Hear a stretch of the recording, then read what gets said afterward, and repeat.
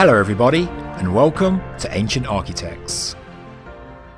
Halfway up a near vertical ravine in the Andes, there is a carved inverted V shaped entrance into a mountainside.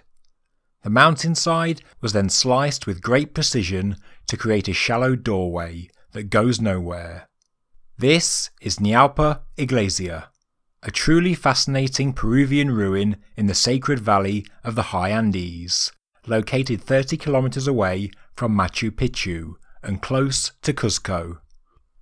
Although the history books say that the ruins have an Inca origin, this interpretation, like many of the mainstream views, is clearly inaccurate, as we know that the Inca simply did not have the technology to construct the marvellous architecture we see. Like with Machu Picchu and Cuzco, Peru, Inca stonework was certainly added to the site at a later date, but Ñaupa Iglesia certainly predates the Inca, but how much older we simply do not know. Some estimate that, like Pumapunku, it could be thousands of years earlier. Apparently, the geometry of Ñaupa Iglesia shows a detailed understanding of astronomy, and, just like with the Great Pyramid of Egypt, specific angles and mathematical ratios can also be found. Although the mountain is made of sandstone, it is clear that the reason this specific area was chosen is because of a specific outcrop of bluestone, which was carved into what we now call the altar. Bluestone is known for its piezoelectric qualities, and this particular example also displays magnetism. When the Incas came to occupy the site, it was given the name Ñaupa Waka, which means Church of the Ancients. According to researcher David Walton, he was told that the Ñaupas are inhabitants of the spirit world, or worlds before our own.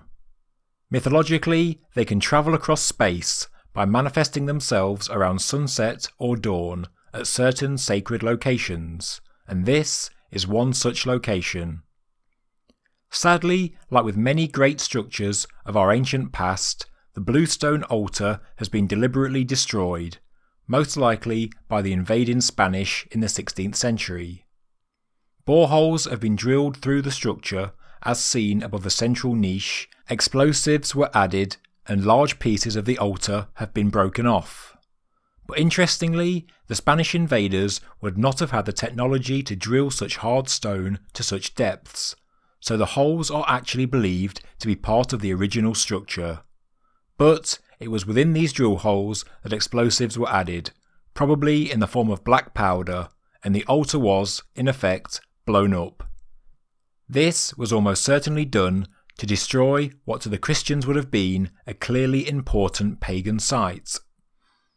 Everybody that has been to the site agrees that Ñaupa Iglesia is a place that has a special energy, which can only be described if you visit, and maybe this is the reason why the Spanish Christians sought to destroy it. The cave ceiling at Ñaupa Iglesia dominates the site, forming an inverted V, cut and smoothed with laser like precision.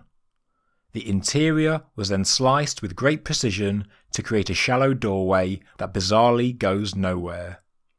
The same concept of a block stone doorway also appears at other locations in Peru, as well as in ancient Egypt. The bluestone outcrop was carved into the three alcoves that we see. Although it is still called Inca stonework, it is certainly not true, and Inca stonework pales in comparison, both in terms of scale and quality. The Incas certainly inherited the site, and the style is certainly consistent with what is found in Cuzco, Pumapunku, and other such precise megalithic sites. Erwin Salazar Garcias, the scientific director of Planetarium Cuzco, says that the axes of the niches of the stone altar projected at certain times of the year point to positions of the stars and constellations. There is something truly magical about this site, and you can't help but think that the rock cut doorway truly looks like a gateway into another world.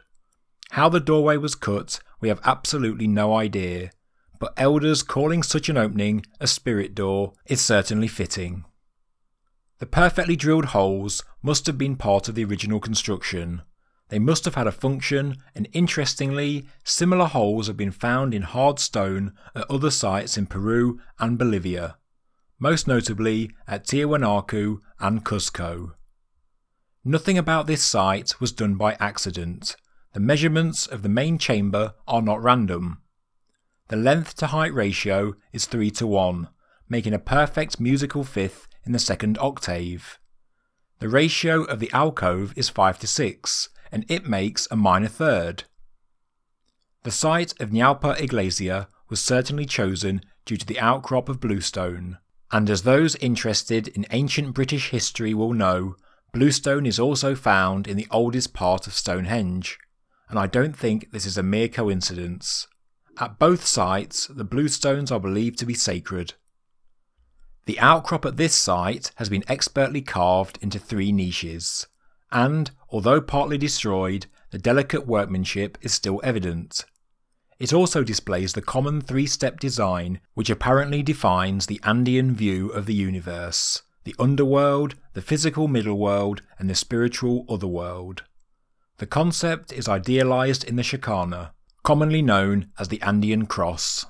Chakana means to bridge or cross, and it describes how the three levels of existence are connected to each other. At present, there isn't a great deal known about the ancient site of Ñaupa Iglesia, but it is yet more evidence for an ancient lost civilization, who used a form of lost technology to create truly marvellous stone structures. Together with the early stonework of Machu Picchu, Cuzco, and Pumapunku, the history of Peru and Bolivia certainly goes back a lot further into antiquity. And I, for one, believe we are seeing the remnants or the resurgence of an ancient civilization that was wiped out at the end of the last ice age. Thank you very much for watching this episode of Ancient Architects. If you enjoyed the video, please subscribe to the channel, please like the video, and please leave a comment below. Thank you very much.